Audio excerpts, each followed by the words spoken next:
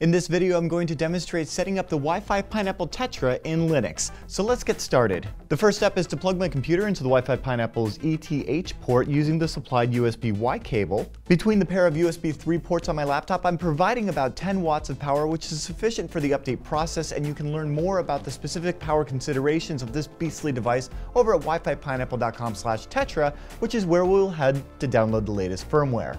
So let's go ahead and download the latest firmware and save it to our downloads folder. And with that, I'll want to verify my connection to the Wi-Fi Pineapple Tetra by running ifconfig in a terminal.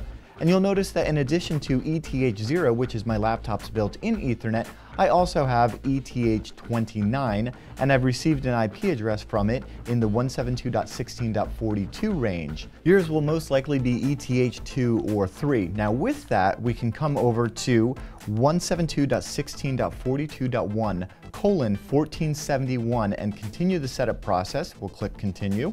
And now for security purposes, we'll need to press the button on the back of the Wi-Fi Pineapple Tetra and click continue. Then we click choose file and select our upgrade bin and click upgrade.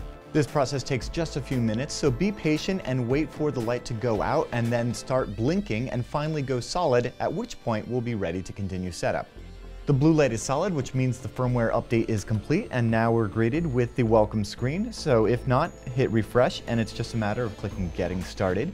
From here, once again, we will press the button on the back of the Wi-Fi Pineapple Tetra to verify ownership. And from here, we fill out the form to complete the setup. Once again, we'll log in, and at this point, we can set up internet connection sharing. We can do this by downloading the WP5 script from wifipineapple.com slash wp6.sh, make that executable, and run that as root.